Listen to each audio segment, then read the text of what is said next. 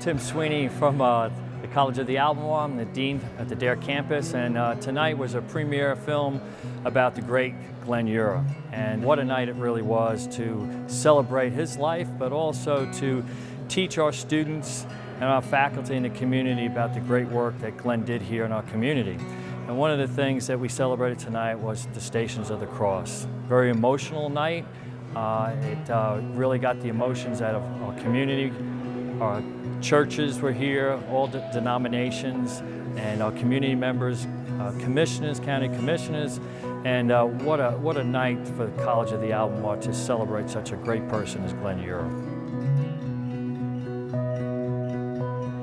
I'm Linda Laube, president of Outer Banks Press and an old friend of Glenn and Pat Eure, whom I met about 30 years ago when I first moved to the Outer Banks.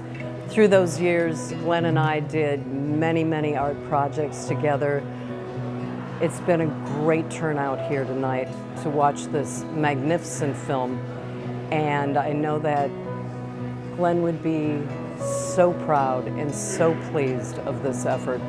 And he would be thanking everybody who has been involved in it and actually promoting all of your talents instead of his own. But as you can see by the product, his talents were many. This idea to, to honor Glenn Eure actually came from the Arts Council and, and Chris Saywin. Chris uh, contacted me and at, at, that point I wanted to see what our instructors at the College of Albemarle felt about it. So we had a discussion at a meeting with the art teachers and they recommended even the English teachers, instructors get involved.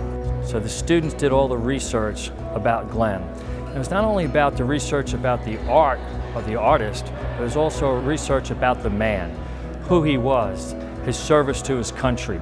And during that service, in representing, you know, uh, not only his family and his country, but, but his community here was just uh, fascinating to learn. Uh, we're, we're, happy that Current TV is going to be uh, showing this, and we're also going to be showing this film throughout our curriculum here at their campus for generation after generation, and to honor not only Glenn Eure's legacy, but the art community here that we value so much.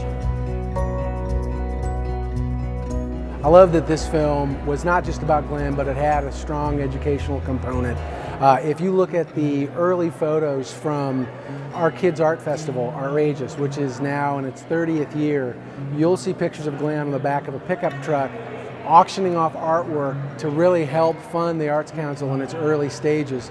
So from the moment he arrived on the Outer Banks, Glenn and Pat were both all about education in the arts for the kids of Dare County. Ladies and gentlemen, I, am speechless now, and that, that doesn't usually happen too much. You know, you can talk to my students, and they say I talk all the time. But um, again, on behalf of Father Walsh and Holy Redeemer Church and everybody here, Glenn will live, and his legacy will live through the College of the Albemarle, through this church and these stations forever. And that's what this is about tonight, Glenn Eure's legacy. So thank you all so very much for coming tonight and sharing this wonderful, wonderful gentleman. Thank you.